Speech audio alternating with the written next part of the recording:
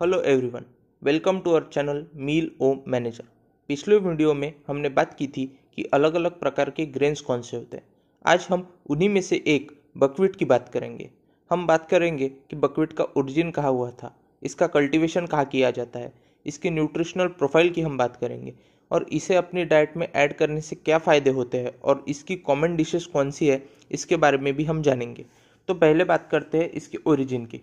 जैसा कि हमें पता है शुरुआत में कोई भी प्लांट स्पीसीज एक वाइल्ड स्पीशीज होती है और बाद में हम उसे डोमेस्टिकेट करते हैं और फिर हमारे डे टू डे लाइफ में यूज़ करते हैं। तो बकविट का जो सबसे पहले डोमेस्टिकेशन किया गया था, वो था साउथ ईस्टर्न एशिया में। वहाँ से फिर ये Tibet Central Asia Middle East और फिर यूरोप पहुँचा। बकविट उन शुरुआती ग्रेन्स में से है जो यूरोपियंस ने नॉर्थ अमेरिका में सबसे पहले इंट्रोड्यूस किए थे। अब बात करते हैं इसके उत्पादन की, यानी कल्टिवेशन की। तो बकवीट जो है, वो सबसे ज़्यादा प्रोड्यूस होता है रशिया में, उसके बाद चाइना में और फिर यूक्रेन और फ्रांस जैसे कंट्रीज़ में।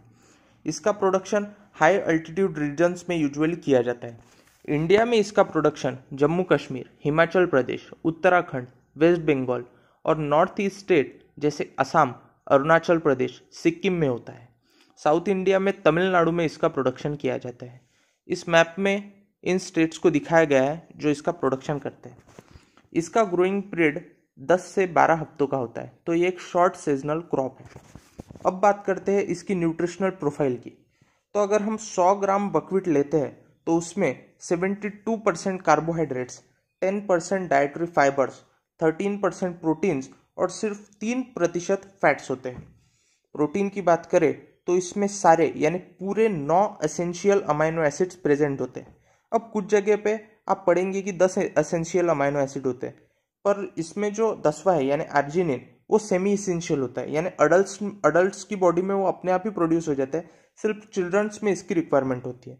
तो वो सेमी इसेंशियल कहलाता है। मिनरल्स भी इसमें बहुत ज़्यादा क्वांटिटी में होते हैं। साथ ही इसमें अलग अलग प्रकार के माइक्रो न्यूट्रिएंट्स भी होते हैं।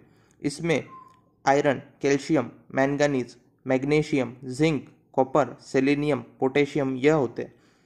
विटामिन भी होते हैं, जैसे B one, B two, B three, B six और बी नाइन। विटामिन की क्वांटिटी मिनरल्स जितनी ज़्यादा तो नहीं होती, पर ये बी विटामिन का एक ठीक ठाक सोर्स माना जाता है। Omega three omega six fatty acids भी इसमें प्रेजेंट होते हैं। हालाँकि इनकी क्वांटिटी बहुत ही कम होती है।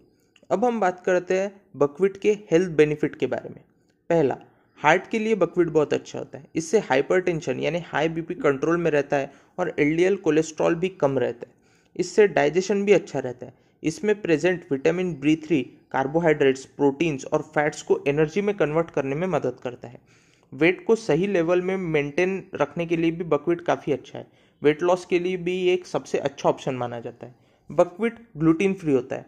तो जो लोग ग्लूटीन डिसऑर्डर से परेशान होते हैं, उनके लिए भी बकवीट एक अच्छा ऑप्शन है। डायबिटीज़ में भी ये लाभदायक है, जो कि बकवीट एक कॉम्प्लेक्स कार्बोहाइड्रेट है। इसे डाइजेस्ट करने में ज़्यादा टाइम लगता है। तो ये ब्लड शुगर लेवल को ज़्यादा समय तक स्टेबल रखता है। इसका ग्लाइसेमिक इंडेक्स भी कम है। अब ग्लाइसेमिक इंडेक्स के बारे में हम आने वाले किसी वीडियो में समझेंगे। छठवा तो ये कोलन हेल्थ को भी मेंटेन रखता है। आजकल कोलन हेल्थ की डिसऑर्डर्स काफ़ी बढ़ रही है। अभी हाल ही में लेजेंडरी एक्टर इरफान खान की डेथ भी कोलन इन्फेक्शन से ही हुई थी। तो ये कोलन हेल्थ को भी मेंटेन रखने में हेल्प करता है। इसके बाद इसमें एंटीऑक्सीडेंट्स और फिनोलिक कंपाउंड होते हैं, जो कैंसर से हमें बचाते हैं। ये बॉडी की इम्यूनिटी को बढ़ाता है। साथ ही बॉडी की एनर्जी लेवल्स को भी बढ़ाता है। एनीमिया यानी हीमोग्लोबिन की कमी की रिस्क को भी ये बहुत कम करता है। हाई मैग्नीशियम होने के कारण ब्रोन्स के हेल्दी फंक्शनिंग में भी ये हेल्प करता है। गाल स्टोन्स से भी हमें बचाता है।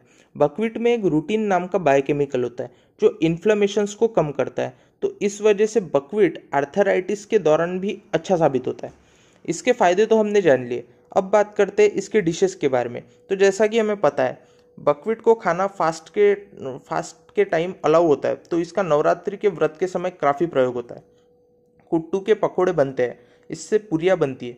जापान, कोरिया में इसके नूडल्स फ़ेमस है, इसे सोबा नूडल्स कहते हैं। नॉर्थ ईस्टर्न स्टेट्स में कुट्टू की रोटी का भी सेवन करते हैं।